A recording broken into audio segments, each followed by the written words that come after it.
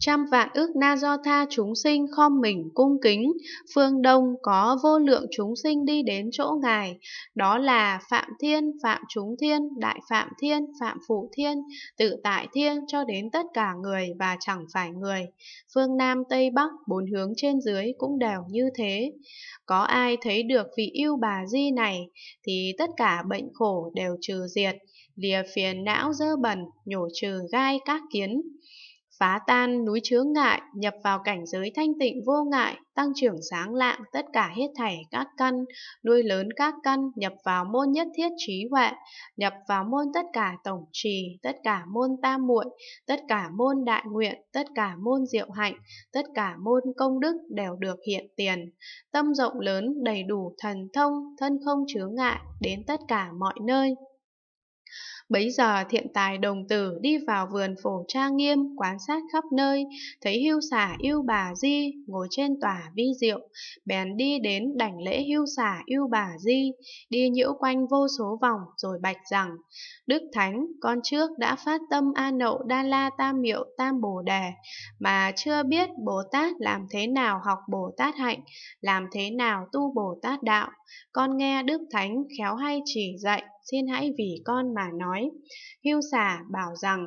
thiện nam tử, ta chỉ đắc được một môn giải thoát của Bồ Tát. Nếu ai thấy nghe nghĩ nhớ về ta, cùng ở với ta, cung cấp cho ta, đều không luống qua. Thiện nam tử, nếu có chúng sinh chẳng trồng căn lành, không được bạn bè nhiếp thọ, không được chư Phật hộ niệm,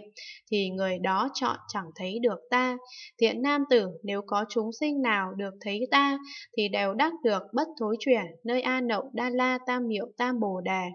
Thiện nam tử chư Phật ở phương Đông thường đến chỗ này, ngồi tòa báu này vì ta thuyết pháp. Phương Nam, Tây, Bắc, bốn hướng trên dưới, tất cả chư Phật đều đến chỗ này, ngồi trên tòa báu này vì ta thuyết pháp.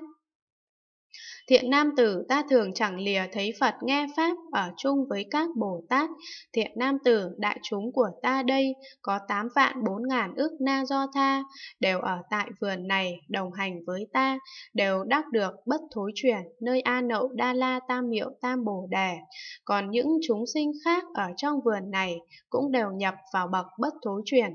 Thiện tài bạch rằng, Đức Thánh, Ngài đã phát tâm Bồ Đề được bao lâu? Đáp rằng, thiện nam tử, ta nhớ quá khứ ở chỗ Đức Phật nhiên đăng, tu hành phạm hạnh, cung kính cúng dường, nghe pháp thọ trì. Trước đó ở chỗ Đức Phật ly cấu xuất gia học đạo thọ trì tránh pháp. Trước đó ở chỗ Đức Phật diệu tràng, trước đó ở chỗ Đức Phật thắng tu di, trước đó ở chỗ Đức Phật liên hoa đức tạng, trước đó ở chỗ Đức Phật tỳ lô giá na, trước đó ở chỗ Đức Phật phổ nhãn, trước đó ở chỗ Đức Phật phạm thọ, trước đó ở chỗ Đức Phật Kim Cang Tề, trước đó ở chỗ Đức Phật Bà Lô Na Thiên.